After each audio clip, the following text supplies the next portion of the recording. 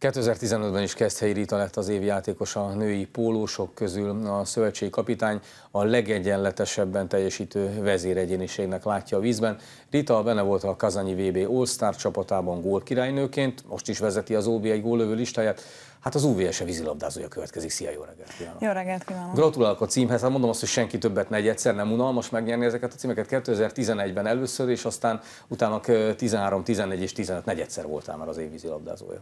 Nem gondolom, hogy unalmas lenne, viszont nyilván a csapat teljesítmény az jobban érdekel, mint a sajátom. Jobban örülnék, hogyha, hogyha ezek az eredmények úgy a csapat teljesítmény úgy mellé párosulna, tehát egy-egy érem. Majd remélem, hogy a következő évben így lesz. Tehát a, a, a, egy olyan év vízilabdázója adná az igazi örömet, ami mellé egy arany. Egy aranyérem is lenne. Na most ugye februárban beszélgettünk a LEN 2014-es évi játékos a szavazásról itt veled, ott, ott ugye bronzérmes lettél 2014-re vonatkozóan. Mi kellene ahhoz mondjuk, hogy 2015-ben majd ezen a LEN szavazáson az első helyen végezzél? Azt gondolom, hogy ezeken a szavazásokon azok azt is nézik, hogy a klubcsapattal, illetve a válogatottal milyen eredményeket érsz el. Vagyis egy aranyérem kellene hozzá. Igen. Úgyhogy akkor majd a 2016-ban legyél az évjátékosa, a lennél, igaz? Amikor már aranyat is tudsz mellé akasztani. Mondom, engem ez annyira nem izgat, csak az, hogy először januárban az eb jól szerepeljünk, megszerezzük a kvótát, aztán Rióban ott legyünk. Na most, hogyha mondjuk neked kellett volna idén a magyar mezőnybe megválasztani a legjobb vízilabdázónőt, és neked kellett volna javaslatot tenni, és ugye magadat ezzel kizárod, akkor te kit javasoltál volna? Megmondom őszintén, hogy ezeken nem szoktam gondolkodni sőt van, hogy a társaim teljesítményét nem is tudom követni így egy meccs, meccs alakulásával, úgyhogy nem neveznék meg senki. Tehát a válogatott csapatkapitánynak nem az a dolga, hogy értékelje a társakat Nem az a dolgom. A vízben, hanem menet közben kell őket ráncba szedni adott esetben. Hát az edzőnek a dolga, hogy értékelje a játékosokat, hiszen ő is jelöli ki a csapatot. Na ebből a négy évjátékos a díjból, hogyha visszagondolsz a kitüntető címre, melyik volt az az év, amelyik olyan szempontból ebből a négyből a legharmonikusabb volt, hogy a csapat is és te is?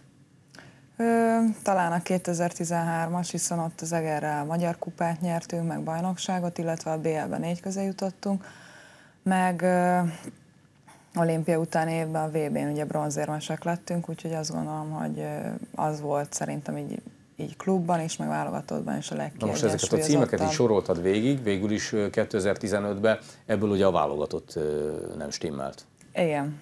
Ugye az az, ami egy fájó pont lett, a többi az UVS-ével végül is stimmelt, bár a Bajnokok Ligája helyezésetek az, hát az nem azt vártátok, és nem ez a célotok. Nyilván nem ez a célunk, viszont először szerepelt az UVS ugye a négy között, mint annó ugye az Eger is. Ezt tapasztalni kell még, hiszen volt olyan akár felnőtt válogatott játékos is, aki még nem jutott el a BL-ben a négy közé, úgyhogy idén nyilván magasabbra szeretnénk jutni. Hát már mint hogy akkor megint visszatér rád arany, igaz? Igen. Na most itt ez az idei jelölés azért is volt furcsa, mert ugye itt a szövetségkapitány mondja meg, hogy ki legyen az év játékosa, és téged ugye az új kapitány Bíró Attila jelölt, de te tulajdonképpen nem panaszkodhattál a bizalomra Merész Andrásnál sem, igaz? Hát ez így van. Te magad vagy, akkor a kontinuitás itt jöhetnek, kapitányok mehetnek, te maradsz, és ugye az új mesternél csapatkapitány is vagy. Ennek, ennek van valamilyen fontos értéke számodra? Nyilván nagyobb terhet jelent, Nagyobb úgymond, terhet ugye a csapatot összefogni, viszont számomra is ez egy új kihívás, amivel meg kell birkózni, és nyilván azon leszek, hogy ezt teljesítsem. A Takács sorsolyával nagyon jó barátságban vagyunk, úgyhogy ha valami, valami kérdésem van, vagy tanácsra van szükség, akkor mindig bátran fordulhatok hozzá. Na most nehéz volt egyébként vezéregyéniségként a medencéből átélni, megélni ezt a stábcserét, kapitányváltást? Azt gondolom, hogy minden játékosra pozitívan hatott, úgyhogy, úgyhogy a régi nem működött volna szerintem, ahogy nem működött az utolsó évben, mert az kifáradt az a kapcsolat? Igen, elfáradt, uh-huh. abszolút. Úgyhogy mindenképp szükség volt egy, egy váltásra.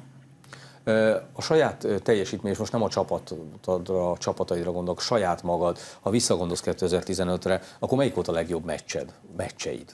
Amikor neked úgy érzed, hogy legjobban ment, és a legjobb teljesítmény nyújtottad? Jó, nyilván a csapattól nem lehet függetlenül. Hú, hát megmondom őszintén, hogy nagyon nehéz példát mondani, mert annyi meccset játszottunk ugye az idén is, hogy nem emlékszem. Azt legalább meg tudod mondani, hogy körülbelül mennyi meccset játszottál idén?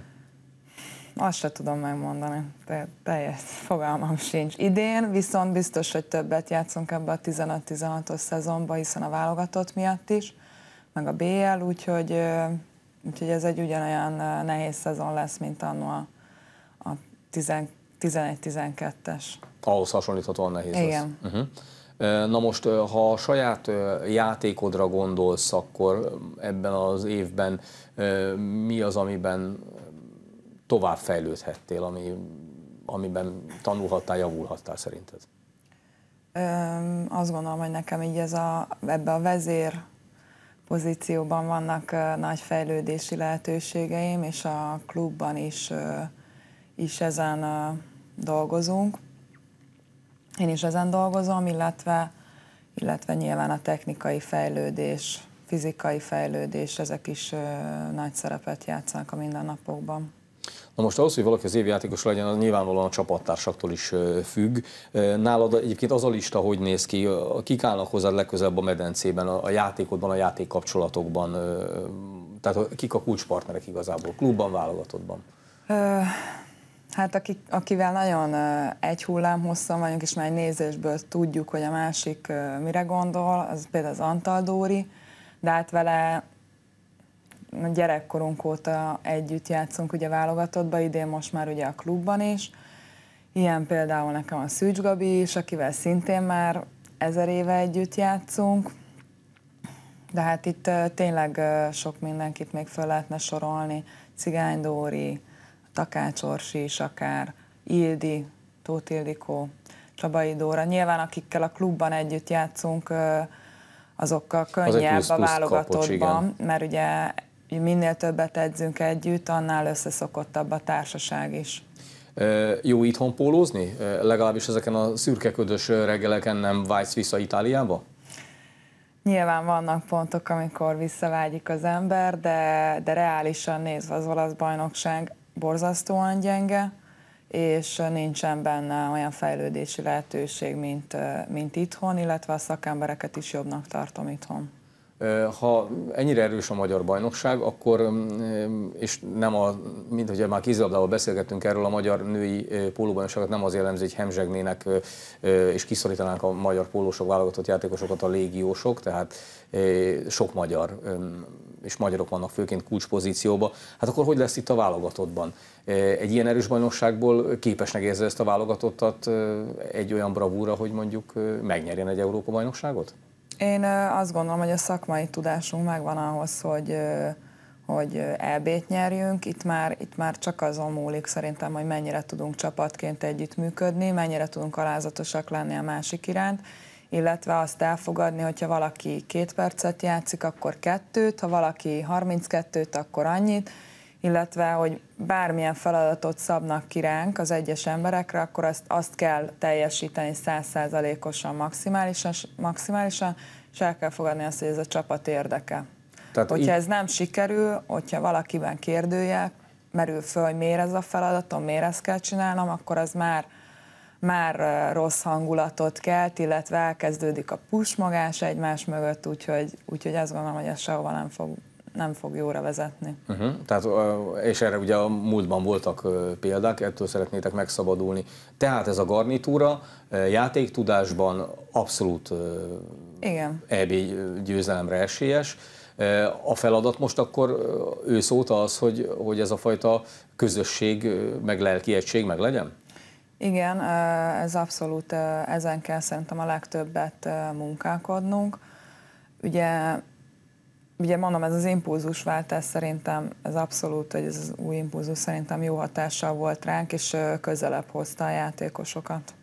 És szerinted, hogyha majd a feladat sikerül, akkor ez a garnitúra arra is alkalmas, hogy várhatunk tőle érmet az olimpián?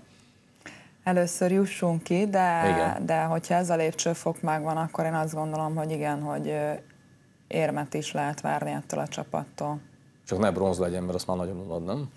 Bronzunk még olimpiáról Olimpián nincs, nem. úgyhogy én, én, én amiatt se szomorkodnék, ha az egy bronz lenne, de mondom elsősorban ezekről, ezekről mind kár addig beszélni, még nincsen a kezünkben a kvóta, úgyhogy én először a kvótának szeretnék nagyon örülni.